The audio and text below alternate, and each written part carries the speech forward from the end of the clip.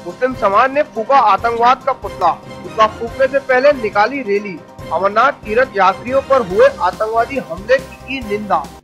मुस्लिम समाज ने अमरनाथ तीर्थ यात्रियों पर हुए आतंकवादी हमले की निंदा करते हुए आतंकवाद का पुतला फूका। गरीब नवाज़ कमेटी किशनगढ़ के साबिर खान देशवाली के नेतृत्व में मुस्लिम नौजवानों ने अमरनाथ तीर्थ यात्रियों पर हुए आतंकवादी हमले के विरोध में रैली निकालकर मुख्य चौराहे पर पाकिस्तान का पुतला जलाकर रोष व्यक्त किया। किशनगढ़ के नौजवानों ने पाकिस्तान के आतंकवादियों के इस हमले की घोर निंदा की है।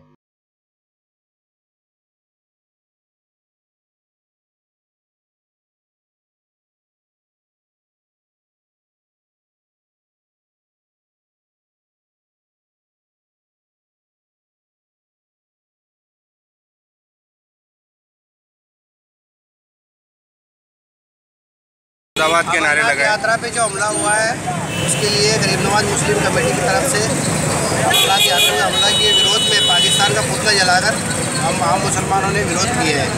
इसको अपना प्रकोप विरोध किया गया है। गौरतलब है कि अमरनाथ यात्रा को जम्मू में आतंकवादियों ने गोली मारकर हत्या कर दी। आतंकवादी को पाकिस्तान में शरण दे रखी है पाकिस्तानियों ने।